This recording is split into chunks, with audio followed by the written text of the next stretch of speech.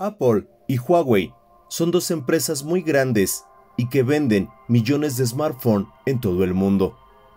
De hecho, el crecimiento exponencial de Huawei en el año 2019 y gracias a esa inercia en las ventas todavía en el año 2020, por un trimestre, Huawei fue primer lugar de ventas mundial y superó a Apple y a Samsung que llevaba 10 años en el primer lugar.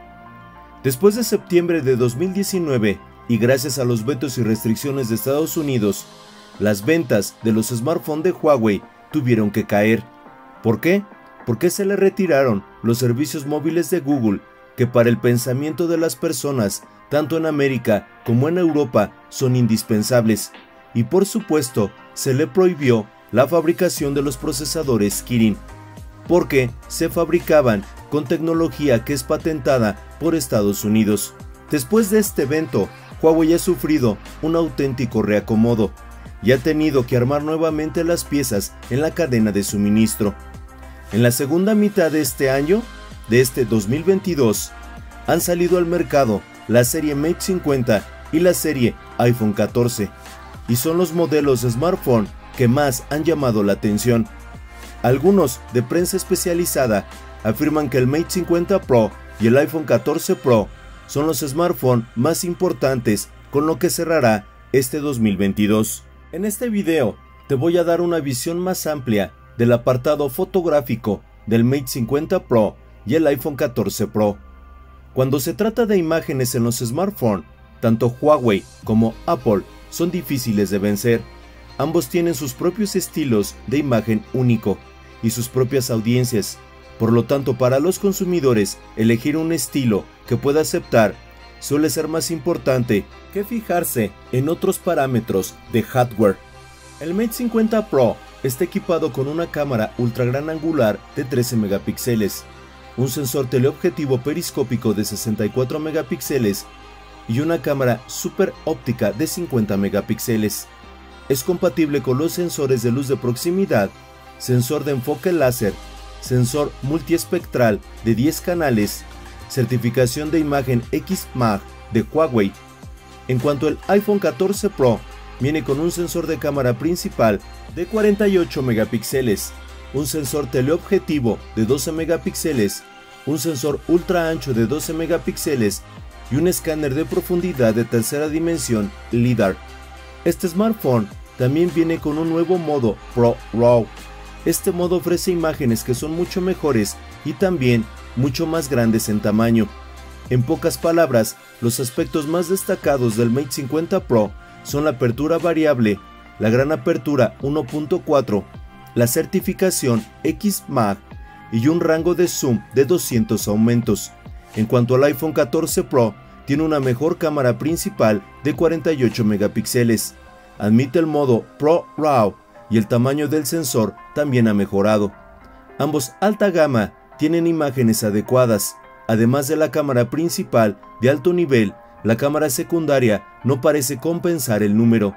Junto con sus respectivos algoritmos en imágenes que son líderes en la industria, representan casi el nivel máximo de imágenes en un smartphone.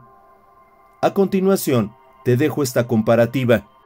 En imágenes diurnas, y con una excelente cantidad de luz, se puede ver claramente la diferencia entre los dos. El iPhone 14 Pro todavía tiene un estilo de alta saturación, el cielo es más azul y el tono de la construcción es relativamente simple. Sin embargo, cuando se tomó la fotografía, el sol casi se estaba poniendo. Por lo tanto, el iPhone 14 Pro no restauró la escena. Por el contrario, el Mate 50 Pro retuvo bien la puesta de sol los niveles de luz en las paredes exteriores del edificio son más ricos y los colores más precisos. Realmente captura la atmósfera de la noche que comienza a llegar. En esta comparativa con ultra gran angular, el control de temperatura de color por parte de los dos básicamente continúa con el estilo de la cámara principal. El iPhone 14 Pro aún es más hermoso y el Mate 50 Pro es generalmente más cálido pero los colores son más ricos, especialmente porque la reproducción del color en el cielo es bastante buena. Además de diferentes estilos de colores, la resolución del ultra gran angular de los dos es bastante satisfactoria, aunque los detalles del borde tienen algunas disminuciones. El rendimiento en general es aceptable. Además, se debe elogiar el control de la distorsión del gran angular, y en ambos smartphones son excelentes. En cuanto al sensor principal, el iPhone 14 Pro agrega un nuevo modo llamado Pro RAW. Cuando este modo está activo, los detalles de las pruebas aumentarán considerablemente. Por supuesto, las fotos RAW almacenan más información. A menudo se utilizan para la creación de fotografías en fotógrafos profesionales o entusiastas de la fotografía a los que les gusta retocar sus propias imágenes. En el Mate 50 Pro, el resultado realmente es bastante similar. Sin embargo, es importante tener en cuenta que las imágenes Pro RAW son bastante grandes. Una sola imagen puede tener un mínimo de 75 megabytes.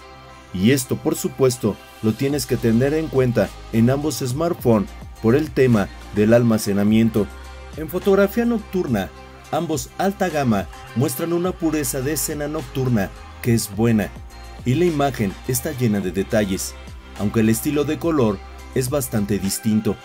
Cada uno tiene su propia interpretación y yo no puedo determinarte cuál puedes preferir porque caemos en una situación de interpretación. El rendimiento en general del Mate 50 Pro por supuesto es mejor en el procesamiento de luces y sombras. Por ejemplo, en la esquina inferior izquierda del display, en el iPhone 14 Pro es negro. Es difícil ver la apariencia del edificio sin hacer zoom. Sin embargo, los detalles en el Mate 50 Pro son más claros y el brillo es mayor. Es importante señalar que esta situación no significa que la escena nocturna del Mate 50 Pro sea necesariamente mejor. Por supuesto, si prefieres escenas nocturnas brillantes y coloridas, el Mate 50 Pro obviamente se ajusta más a tus necesidades.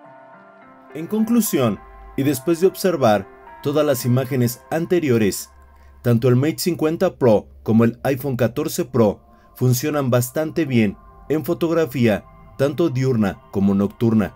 Sin embargo, el estilo de salida de ambos smartphones es totalmente único para cada fabricante. El Mate 50 Pro persigue los detalles en la imagen, ya sea en el brillo, el color o las luces y las sombras, en comparación con el iPhone 14, que por supuesto es distinto. Por lo tanto, y para mi apreciación, y en la mayoría de escenarios, la apariencia de fotografías, detalle y nitidez es por supuesto mejor en el Mate 50 Pro. Pero aquí, la mejor contestación la tienes tú. Para ti, ¿cuál es el mejor exponente en fotografía? ¿El Mate 50 Pro o el iPhone 14 Pro? Damas y caballeros, están ustedes informados. Agradezco mucho tu tiempo y preferencia a este video. Si el contenido es de tu agrado, te invito a que me ayudes a difundirlo más. Muchísimas gracias y que tengas un extraordinario día. Hasta pronto.